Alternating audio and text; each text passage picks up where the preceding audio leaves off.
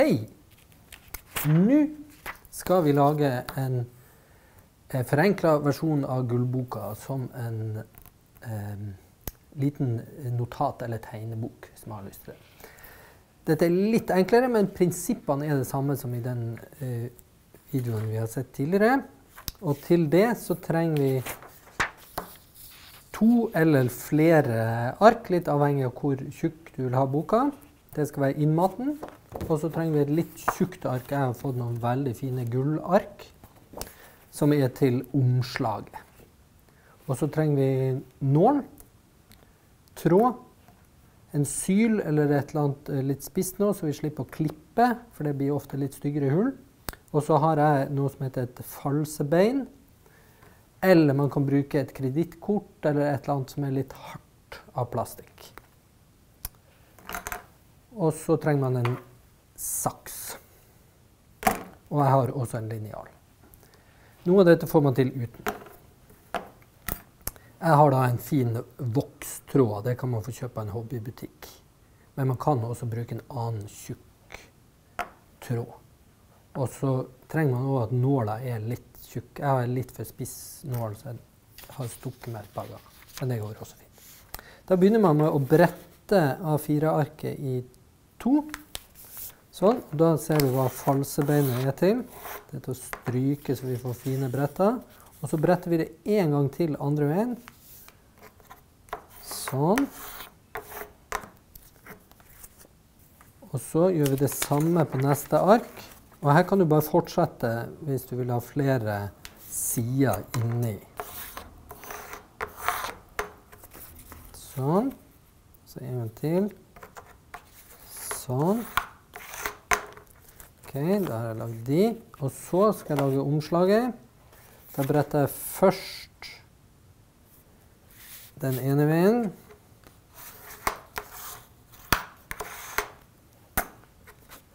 Men den er jo altfor stor.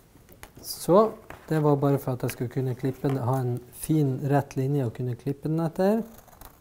Så da klipper jeg rett og slett langs brettkanten. Sånn. Og så bretter jeg den en gang til.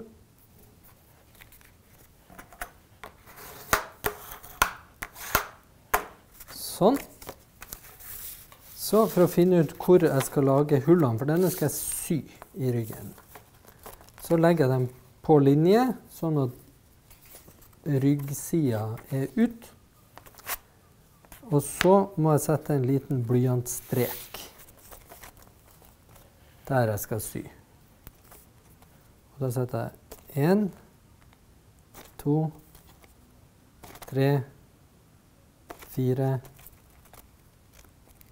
fem streker.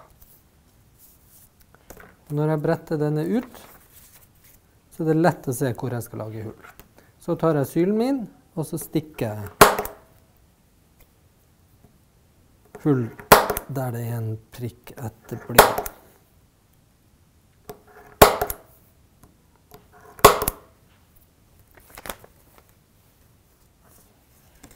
Det gjør jeg på alle bitene mine. Og den blyantprikken den forsvinner jo fordi at jeg lager hullet der. Så den kommer ikke til å synes.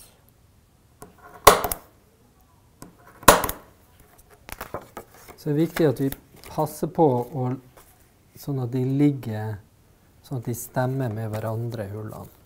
Så ikke så blir boka skeiv.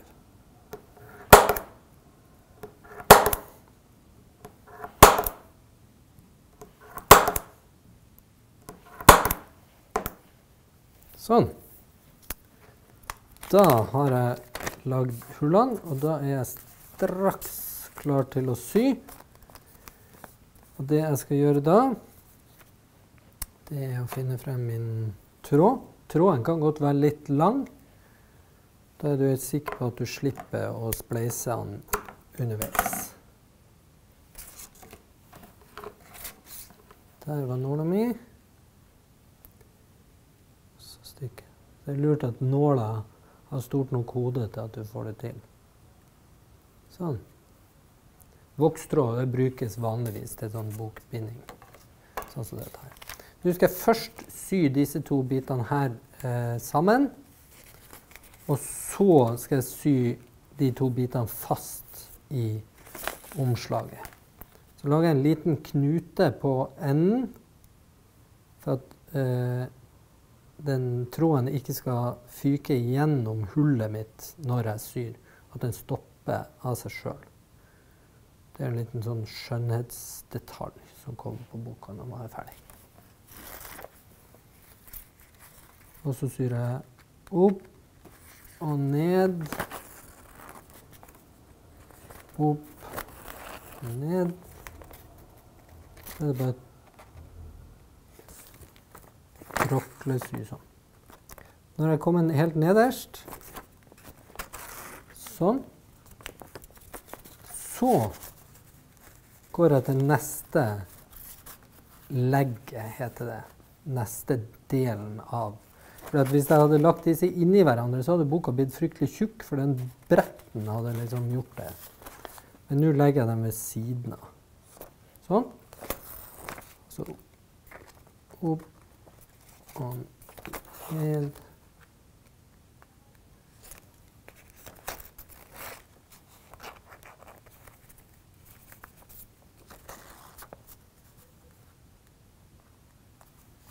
Nå må jeg jukse litt. Grann. Nå hopper over der. For da binder jeg de sammen en gang til. Og så går jeg tilbake. Sånn. Så nå henger de to delene kjempefint sammen. Og nå så skal jeg gjøre et triks. Nå går jeg ned et hakk, og så går jeg ut imellom arkene her. Sånn, så kommer jeg ut på baksida, og da Nå må jeg bare se at jeg har riktig Den her er riktig vei. Den avstanden er lik. Ja. Og så vi se, da er det på det hullet. Så syr jeg fast det. Og da skal jeg ikke inni, da skal jeg mellom de to leggene når jeg syr.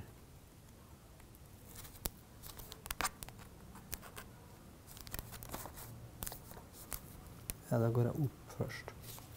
Sånn, for da binder jeg den sammen med den tråden som jeg bandt de to sammen med. Sånn.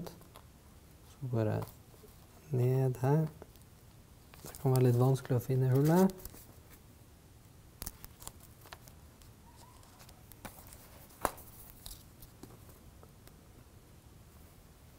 Og nå hadde jeg faktisk nesten litt for kort tråd. Det er veldig spennende. Kommer jeg til enden? Hadde heldigvis bitte litt å gå på der. Jeg vil inn i det hullet der igjen. Sånn at jeg kan sy en liten knute på den. Får jeg til det? Nei, jeg tar bare ut nåla, så knyter jeg den fast. Så etter dette så er det én siste ting man skal gjøre. Det, her er det enda en sånn god ting med den vokstråden. Og det er at den er litt klissete. Så den knuten min trenger ikke å være så bra. Kan man rett og slett bare snurre den rundt, så holder den like godt. Sånn. Da er den nesten ferdig. Den ble litt skeiv likevel. Men det skal jeg fikse akkurat nå. Fordi at nå henger jo disse, pga. at jeg bretta den, så henger jo de sidene sammen her. Og det må jeg klippe vekk.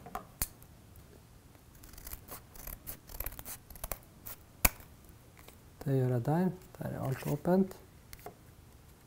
Har jeg noen som henger sammen her? Nei, de hang bare sammen på den ene siden. Fin liten notatbok i gull.